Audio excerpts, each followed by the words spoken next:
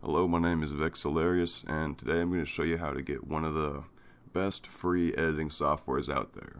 And no, this is not piracy, this is completely legitimate. What you're going to do is to type in DaVinci Resolve.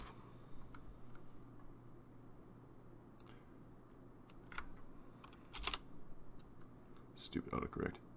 And you're going to get to this. Now, this is a piece of software by a company known as Blackmagic Design. You may know them from professional cameras. Anywho, you're going to click this little download button. Don't worry, it's safe. And you're going to see these four little panels. DaVinci Resolve 14 Public Beta, DaVinci Resolve 14 Studio Public Beta, DaVinci Resolve 12.5.5, and DaVinci Resolve 12.5.5 Studio. Now today, we're going to mess with this one, DaVinci Resolve 14 Public Beta. These are older versions. I did use these like now a year and a half ago, and it did not work very well. There was lots of bugs in it, and it required a QuickTime. And overall, I love the the UI, but the software wasn't very functional. In Resolve 14, they fixed all of that. It's a dream. So what we're going to do is go to this version, the public beta, and depending on which system you're running, so Mac OS variant, Windows, or GNU Linux. So we're using Windows. So click on that, and then fill in this information. So I don't know,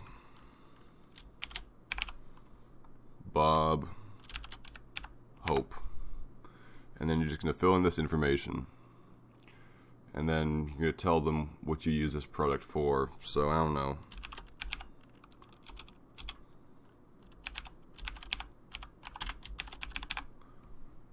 No. YouTube, there we go. Anyway, this is for their quality assurance. They're using this to improve the product. So once you futz around, once you click register and download, you'll probably get an email to verify your account. I can't remember if you do or not. And then in the bottom right, sorry, the bottom left, right here, you're going to see a little download thing. Once you've done that, you're going to head on over to your downloads, like so. And you'll see this, DaVinci Resolve. Now, I have scanned this, and this is perfectly legitimate. So, there's Symantec, there's Malwarebytes.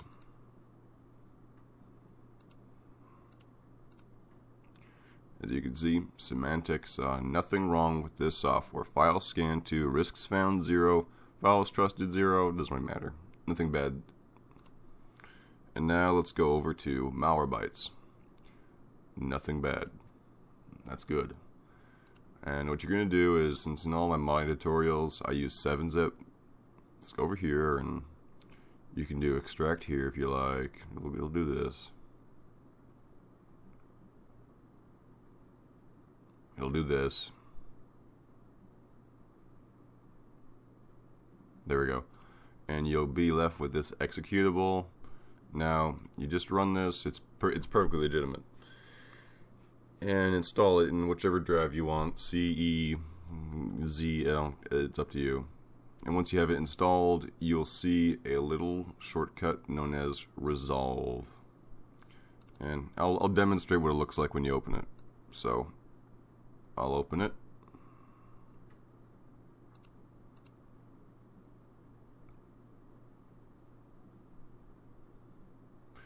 And look at a little preview of future projects.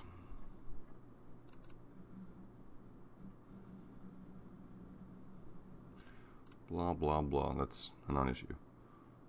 And as you can see, fully functional timeline, little scrub bar, lots of the stuff, the media pool, you know, fully functional.